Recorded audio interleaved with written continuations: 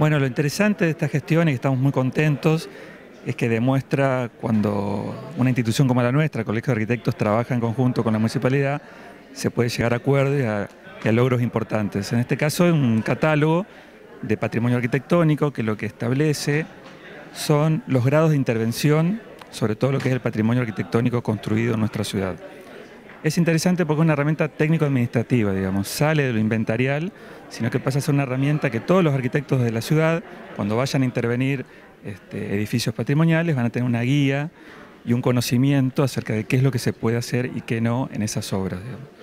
Eh, los grados van de 1 a 4, por ejemplo, el grado 1 es el que se puede intervenir eh, con ampliaciones, refacciones, manteniendo ciertas condiciones de frente, de fachada, porque tiene mucho valor desde lo entorno urbano.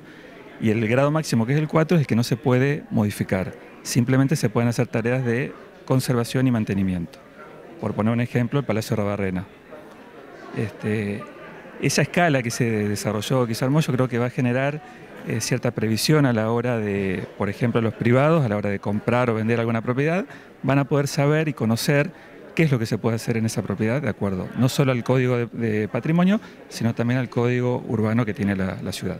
¿Trabajo que demandó cuánto tiempo? Porque bueno, la ciudad se ha expandido, es muy grande y bueno, eh, el relevamiento imagino habrá sido más que interesante. Este trabajo es la primera etapa, que se realizó en 196 manzanas, que se encuentran en lo que sería el radio céntrico de la ciudad y alrededores, que es donde se concentra la mayoría del patrimonio arquitectónico de la ciudad.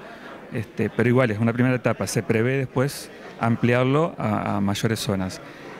Esa zona, esas 196 manzanas, se dividieron en cuatro cuadrantes y hubo un equipo de tres arquitectos convocados por nuestro colegio que hicieron el relevamiento del trabajo por equipos en cada uno de esos cuadrantes, relevando desde el punto de vista fotográfico, pero también haciendo todo un relevamiento histórico. Se revisaron todos los archivos de la municipalidad, se buscaron planos, este, hubo un, trabajo también con Catastro, eso llevó mucho tiempo, es un trabajo muy profesional, muy serio, y la verdad que de mi parte estoy muy orgulloso de mis colegas porque el trabajo que hicieron fue impecable. Ahora lo van a ver y es, aparte de reconocer que digamos en la provincia, a mí me toca viajar por toda la provincia por mi función de presidente, y es la única ciudad que cuenta con ordenanza de protección de patrimonio y ahora con este catálogo, digamos, que, se usa en todo el mundo, ¿no? En Europa más que nada, acá cerca, en Montevideo también hay una, una experiencia parecida, Así que bueno, también estamos muy orgullosos de eso, de cómo Concordia en eso lleva la delantera, teniendo en cuenta que el patrimonio arquitectónico de Concordia es muy importante. Entonces está bueno que se generen este tipo de gestiones que permiten este, desarrollar este, estrategias de protección y, sí, y protección de, nuestro patrimonio. ¿De qué manera la gente puede acceder a este catálogo? Eh, ¿Cómo va a estar para que el futuro comprador o propietario de alguna vivienda sepa qué puede y qué no debe hacer? Eso después va a ser público. En este momento nosotros hacemos entrega como cierre del convenio entre el Colegio de Arquitectos y el municipio al intendente. Eso después va a tener toda una, gestión administrativa dentro del municipio hasta que llegue al Consejo Deliberante donde deberán aprobarlo. Este, y a partir de ahí va a ser público para que todo el mundo lo pueda este, consultar. Aparte va a ser una herramienta también que está dentro de los objetivos, que en algún momento se pueda utilizar para desarrollar en las escuelas hacer conocer a nuestros chicos, digamos, de, la importancia de cuidar y de proteger el patrimonio que es nuestra identidad y nuestra historia. Este es un convenio que realizamos en su oportunidad con el colegio justamente para, para, dar, para darle un valor a cada una de nuestras, de, nuestras, eh, de nuestras construcciones, digamos, teniendo en cuenta que la ordenanza de patrimonio enumera una cantidad de obras, pero nosotros necesitamos darle un, valor, digamos, a la hora de intervenir esa obra.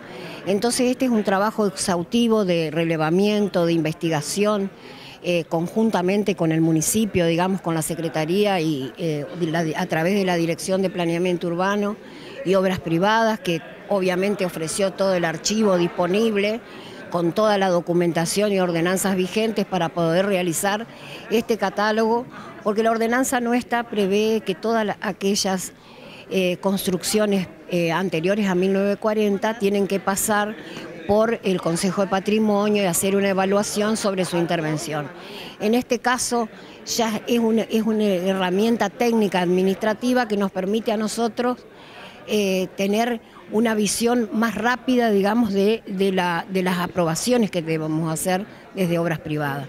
Para la gente conocer también lo que tiene la ciudad, ¿no? Porque uno se queda por allí con los edificios históricos o los que uno conoce, como puede ser el Palacio de Barrena, como puede ser el Palacio Municipal, pero hay muchos lugares y, y casas que eh, son históricas en la ciudad. El espacio arquitectónico eh, es donde transcurre y se desarrolla la vida de una ciudad.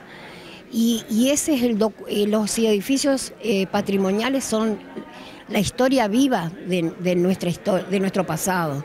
Entonces nosotros tenemos que conservarlo. Eh, tampoco es todo tabla rasa o no se hace nada, no se toca, no. Hay, hay posibilidades y por eso mismo este, este catálogo tiene ese valor, porque le, le da un valor a cada, a cada una de esas propiedades. Se hizo un relevamiento de 196 manzanas, o sea que es un trabajo profundo y que se llevó su tiempo, ¿no?